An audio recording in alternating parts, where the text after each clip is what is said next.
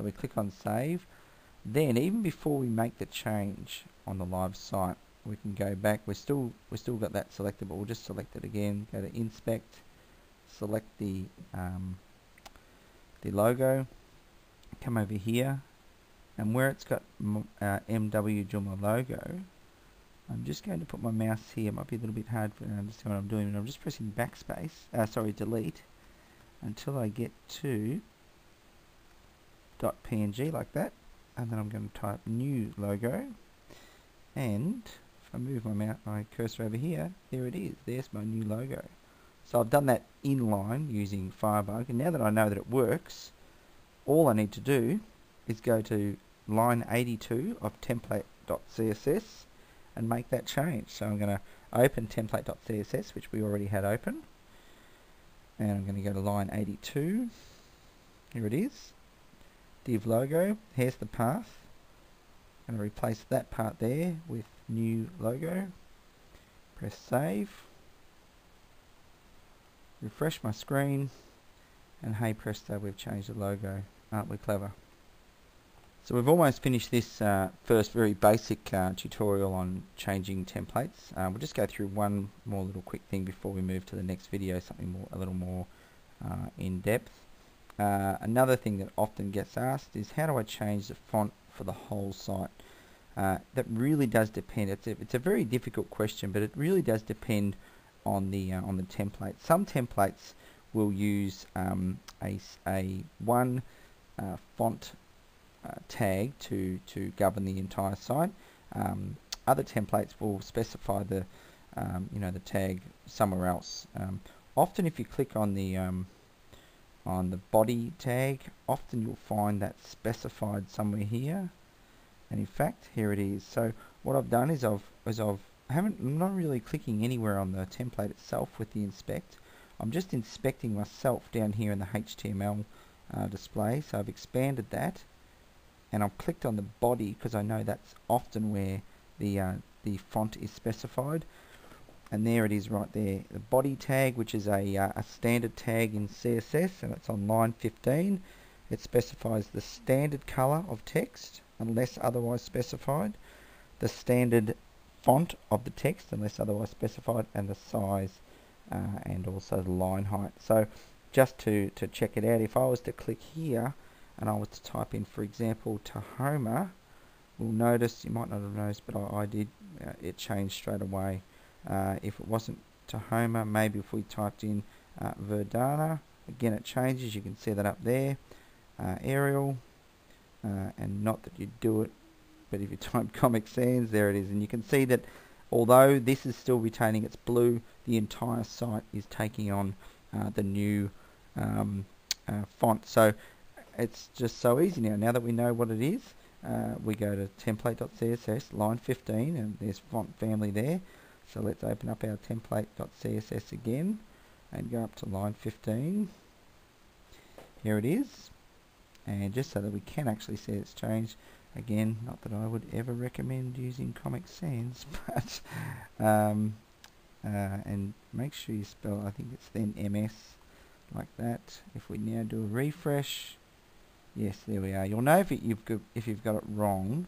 In fact, if we go and deliberately make it wrong, um, uh, my font, it should, it'll probably revert back to a standard, yes, that's what I thought it would have done, a standard font, which is generally something like Times New Roman. Uh, you can see because I, I, I, typed that incorrectly. So you'll know if you've typed it incorrectly, uh, we'll do that. Now, if you're also lucky enough to have something uh, such as a, um, uh, a WYSIWYG um, HTML um, editor or, or, or the like, or as sometimes it's referred to as an IDE, an Integrated Development Environment. Um, some of them have what they call autocomplete, so you'll you'll type in font family and you'll put a colon there, and up will come various choices. Uh, NPAD 2 doesn't have that, however, uh, Firebug does. So if we go back to Firebug and we just scroll down that bit and we put in font family and just put our cursor in there. And then what I'm doing now is I'm moving the uh, using the up down arrows on my keyboard. Put backspace first. And now it's going to scroll through its possible what it knows is options. Times New Roman Lucinda Helvetica serif sans serif cursive so forth and so on uh, some of them will not be always available in uh, in the person's browser. It's very very important to use what's called web safe fonts, and that's why you'll sometimes see them put in in uh, what's called a family. In other words, it will have three or four different options of font, so that if one if a computer doesn't have one, it reverts to the to the other.